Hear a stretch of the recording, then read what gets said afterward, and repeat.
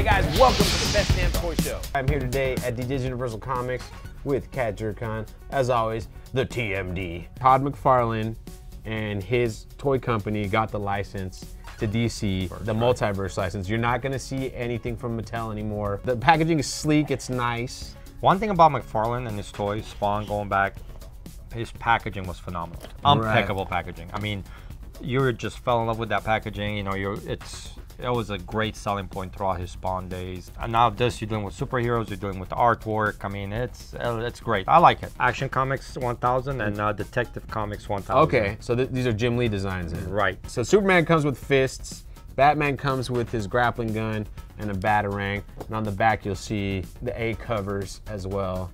Yeah, don't struggle. Here, It, I'll, I'll do it for you. It's okay. Cat's a pro when it comes to this. Are you guys stuff. being gentle with the packaging? Oh, look at well, that. we know how you treat the boxes. That is so Yeah. sweet. You see how gentle he took it out? Jesus Christ. So right off the bat, you'll see Hey, you leave JC out of this. What's he got to do with it this is. packaging?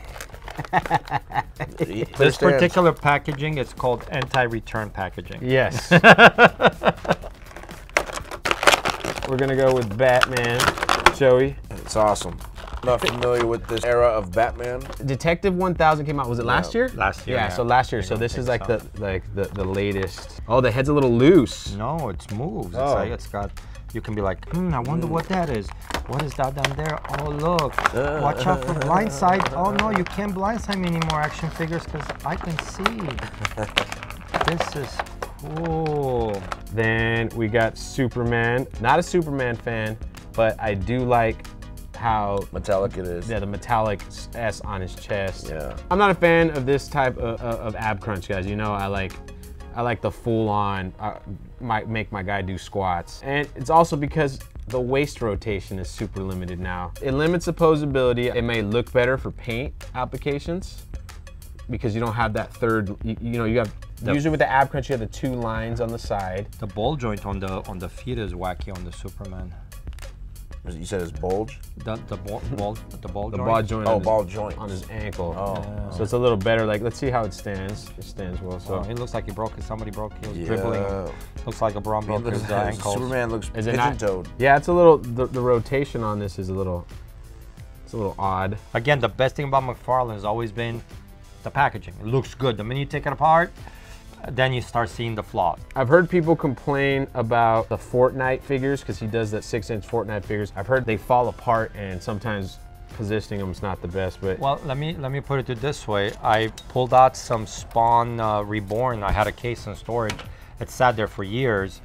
Um, I pulled out. I, I sold a couple of the, the big massive toy. There you go, right there. We opened the package. It fell apart out of the package. wow, I literally lost money on two of them. Both of them. I thought, no, this is it can't happen. Is Opened the second one, and the second one fell apart. I just want to point out these are seven-inch figures. They're not going to go in with the rest of your figures if you if you want to put them in with the rest of your line. So if you need a character, it's not going to work because it's going to be bigger than your other characters. you That's know? the only reason why I would have bought that one too if it would have went with the Marvel Legends, but he's towering over him. so, Right, and yeah. and just for perspective, you know, this is the original DC line, fully First yeah, yeah. So, but you see, this has ab crunch. You know, I actually like these because the paint applications on them are not shiny. Yeah, they're they they're look- more like classic comic Yeah, book looking. right. But this is a six-inch figure. You you can see. I mean, I don't have to measure it for you guys, but you can see the difference between At between least them. an inch. Yeah. Yeah, it- it- they're not going to fit together, so it's an issue because you're going to have to collect the entire line of McFarlane multiverse figures if you're starting a collection. You can't just slide it in with the rest of them.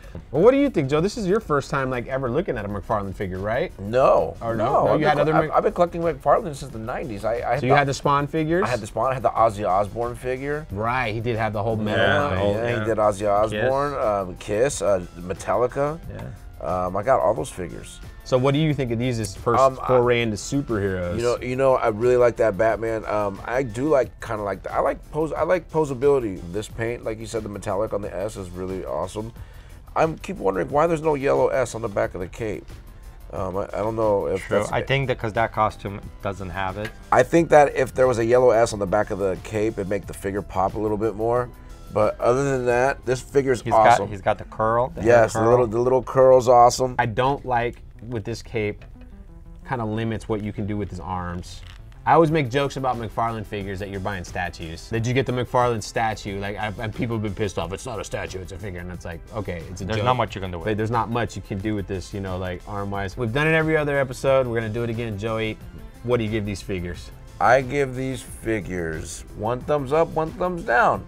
Thumbs up because they're awesome, and, and a thumbs down because they're too tall for the Marvel Legends collection. Okay. I, I'm gonna go with the thumbs down on these. Just, disappointed in, you know, at 20 bucks a pop. We'll see how the sales go because I feel like sales are gonna determine what he does with these figures as well. But just came out. We'll see what happens. Anyways, guys, thanks for watching. You know the drill. Smash that like button, subscribe if you're not a subscriber, ring the bell if you already are, and we'll see you next week.